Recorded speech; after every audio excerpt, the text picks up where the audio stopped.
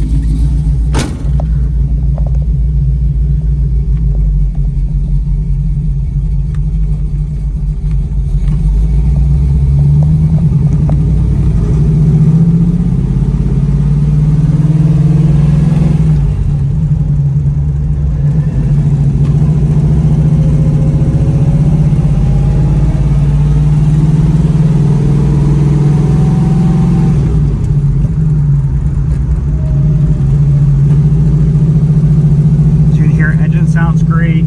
Gauges are working as they should, with the exception of the in-dash clock. Aftermarket gauges down below. Love the pistol grip shifter.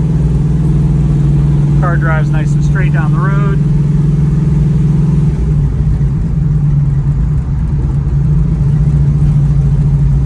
Four-wheel disc brakes, this thing stops in a straight line. Easy to drive with power steering.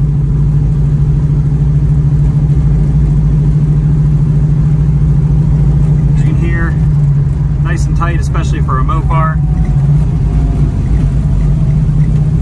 Um, at this stop sign, go ahead and turn right.